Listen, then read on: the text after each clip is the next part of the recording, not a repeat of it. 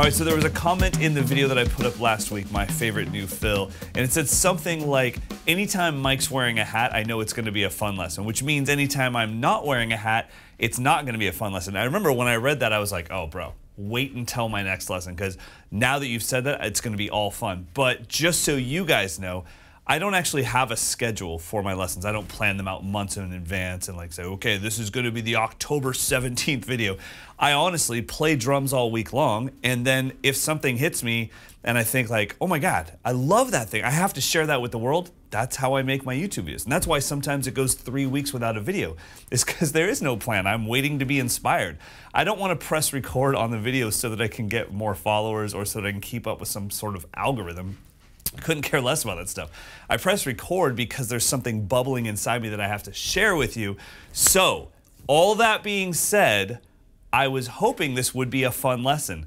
Unfortunately, he was right. This is not going to be fun. I'm not wearing a hat. This is not going to be fun. This is a pretty advanced thing to be able to do. Basically, we're playing a grouping of seven over a grouping of four. So we have one, two, three, four, one, two, three, four. And while that's going on, there's going to be one, two, three, four, five, six, seven. One, two, three, four, five, six, seven. One, two, three, four, five, six, seven. One, two, three, four, five, six, seven. One. So we have a little bit of a polyrhythm happening there. I don't think of it like that. I don't think of it as being overly polyrhythmic. It's really just I'm playing 16th notes against this. One E and a two E and a three E and a four E and a one E and a, and they happen to be groups of seven, this predetermined chunk of notes that I've come up with. One, two, three, four, five, six, seven. One, two, three, four, five, six, seven. One, two, three, four, five, six, seven. One, two, three, four, five, six, seven. One. All right, so that seven is very simple as far as what it is.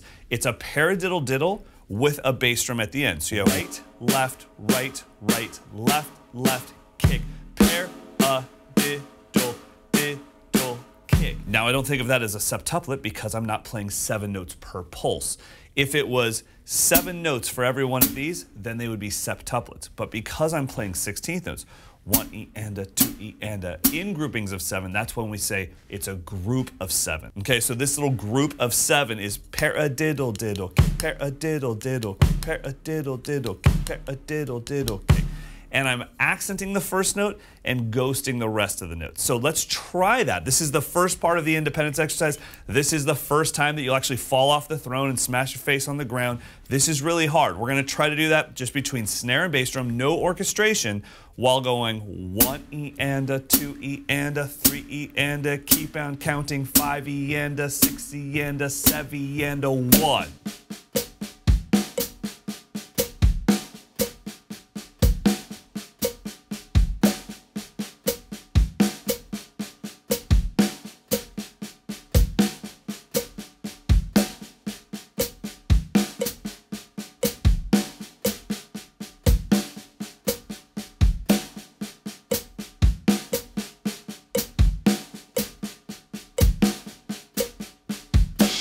Was 60 beats per minute, and that is freaking difficult. Absolutely.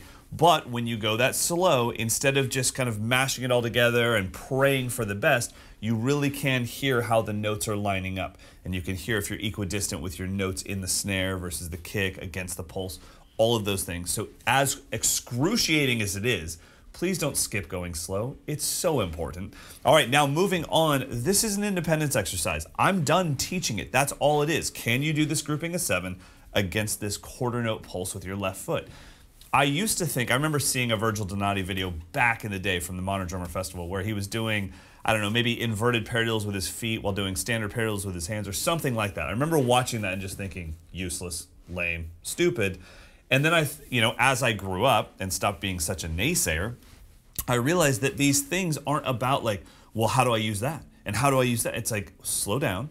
The fact that you try to do something that you physically can't do, that causes you to make massive breakthroughs independence wise on the instrument. So if I can do this grouping of seven against a quarter note pulse with my foot, how, how easy is this gonna be for me next time I'm playing this on a gig, right? I have the independence now. Let me see if I can get this quiet enough. I have the independence now to, well, hell, speak to a camera while doing this. Or I could be thinking of something practical, like, hey, is my bass drum too quiet in this room? Let me bring up the kick just a little bit, but not the hands. Or I could be thinking, uh, you know what? We're dragging a little bit. let me give the band a little extra hi-hat so they can hear the tempo, because the hi-hat cuts through better than kick and snare. That's the kind of independence that this type of exercise will give you. So it's not just about like, well, when am I gonna use it, bro? It's like, I, freaking calm down, man. I don't know. Have a matcha. We'll make it work. So let's give this a shot. Goal tempo is 120 beats per minute. I'm going to start on the snare and I'll slowly start moving around the kit, and that will be your goal as well.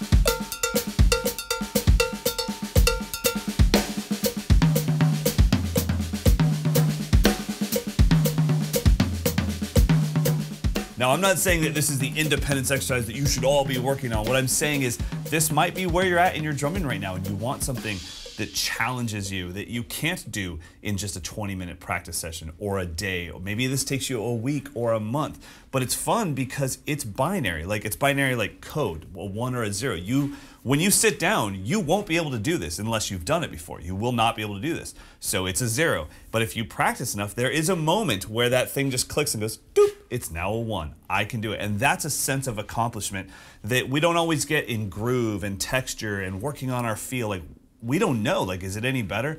Working on my timing, it's like, yeah, I think I'm in time. Like, this is one of those things, just like a skate trick, where you, you know, you go off the stairs, little heel flip, and you eat stuff. You eat stuff, and you go like, that's a zero. I didn't make it. Keep doing it. Keep doing it. Keep doing it. Finally, you land your trick, and you have that moment of exhilaration where it's like, oh my god, I did it.